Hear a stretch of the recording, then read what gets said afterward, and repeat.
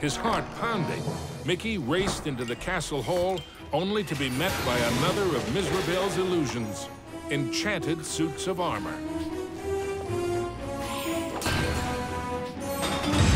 Whoa! Guess you fellas aren't statues after all.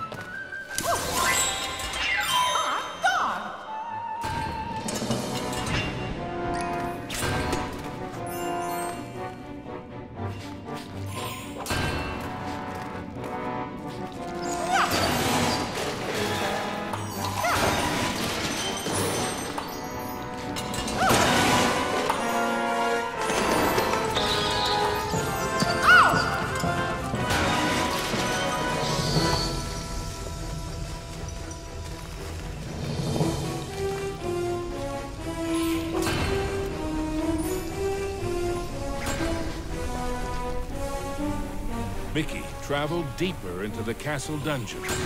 He knew he had to get those last two gems as quickly as he could. Oh.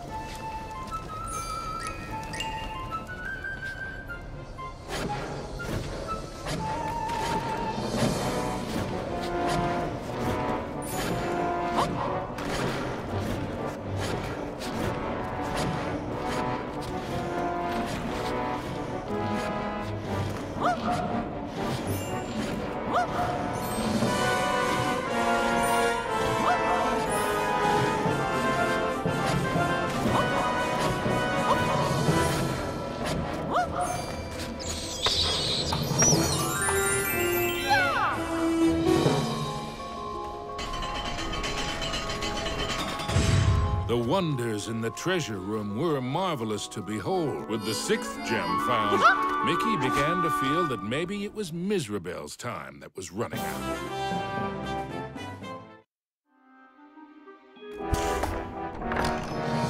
Gosh, how big is this castle?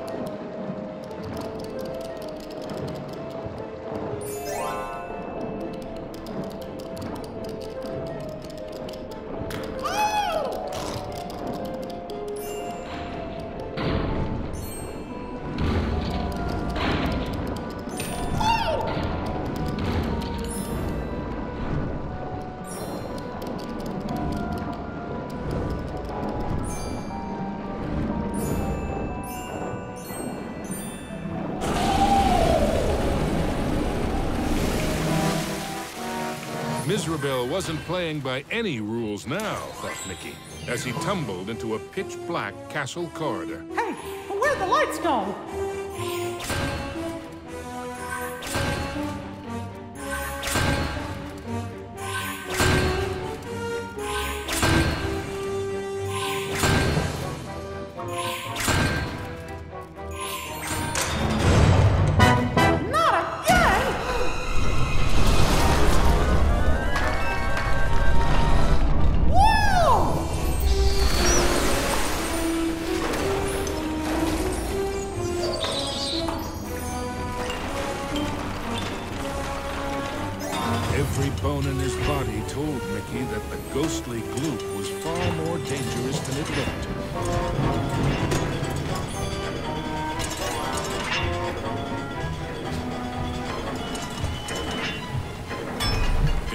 From the dungeon, Mickey raced into the clock tower.